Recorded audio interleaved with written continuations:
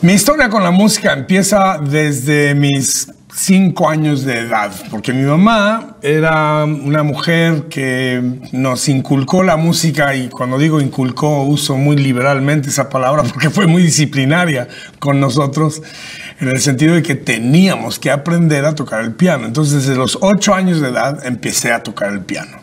Era requisito en mi casa, si uno quería comer tenía que tocar el piano.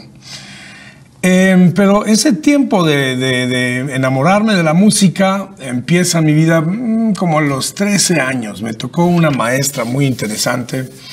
Ella eh, había tocado en las películas silenciosas, ya era una señora muy grande de edad cuando fue mi maestra.